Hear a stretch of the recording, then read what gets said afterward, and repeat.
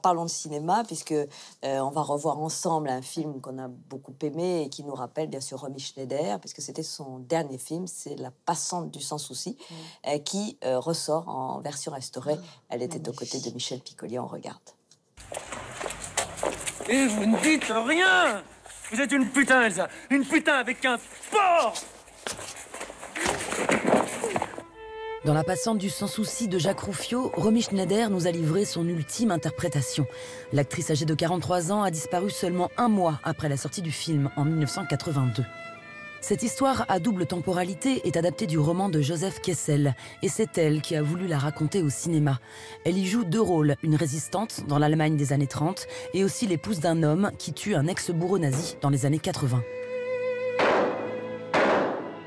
Pour cette Allemande écorchée vive, c'était comme une nécessité de rappeler l'horreur du régime nazi. Et au-delà de cette empreinte personnelle, La Passante du Sans Souci est un film testament tourné sur fond d'un drame. Romy était une mère qui venait de perdre son fils. Ce film-là euh, est, est, pour moi euh, une manière d'avancer dans la vie. Il est impossible de revoir ce film sans être ému par cette femme, cette icône qui offre ses derniers instants à la caméra. La journaliste Guillemette Odissino revient avec nous sur le contexte de la passante du sans souci et on commence par la catharsis opérée par l'actrice. Elle a découvert depuis de nombreuses années les rapports troubles de sa propre mère, Magda, euh, avec euh, Hitler, ou en tout cas les visites régulières de Magda, euh, jeune comédienne allemande dans le vent, euh, au nid d'aigle d'Hitler. Euh, Romy a trouvé des photos, Romy a compris, euh, et euh, soudain, c'est un, pour elle, euh, c'est un drame. Cette espèce de, de, de, de, de- de filiation euh, est extrêmement lourde à porter.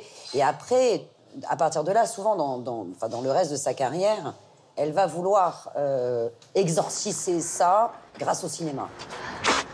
Tiens, c'est pour ton juif, salope. Tu l'emporteras pas au paradis. Jean Reno. Ce film, c'est aussi la réunion d'un couple mythique du cinéma français. Romy retrouve Michel Piccoli. Lina, Une des conditions, et qui rassure énormément Romy, c'est qu'elle va avoir pour partenaire Michel Piccoli.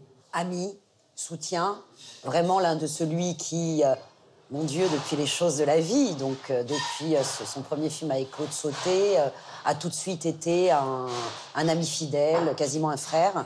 ça fait trois semaines que je rêve d'une soirée à Genève, tous les deux. Tous les deux. Oui, tous les deux tranquilles. Avec des spaghettis au beurre. Il incarne aussi, euh, il incarne Sauté, il incarne un, un moment de la vie de cinéma de, de Romy qui est vraiment heureux. Donc, euh, Piccoli, c'est le temps où on riait. Rien à dire, Lina, rien. Je te demande rien, je suis là. Dans ce film, Romy Schneider est à fleur de peau et le plus dur, c'est de jouer une mère sans penser à son propre fils David, disparu à l'âge de 14 ans. Sur le tournage, il paraît que c'était absolument, enfin, c'était euh, bouleversant. Il y a évidemment la scène où elle pleure en regardant le petit, le petit Max jouer du violon, mais évidemment la scène est claire.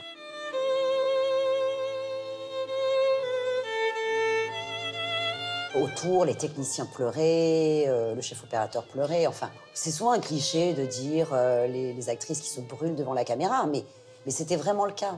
Elle avait du mal à faire la différence entre euh, sa, sa- sa vie privée et, et ce qui se passait devant une caméra. Toutes les émotions étaient euh, identiques. Arrêtez ça, Elsa, vous allez vous rendre malade Pas du tout. Au contraire, ça me fait du bien.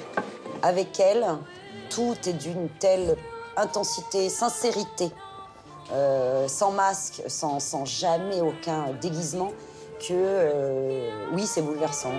Je t'aime. Comme un vieux fou. Je t'aime comme un fou.